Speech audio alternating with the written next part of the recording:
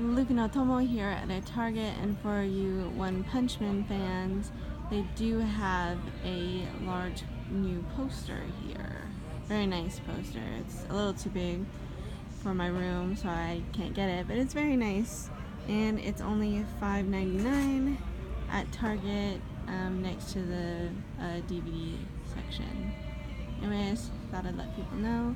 Thanks for watching.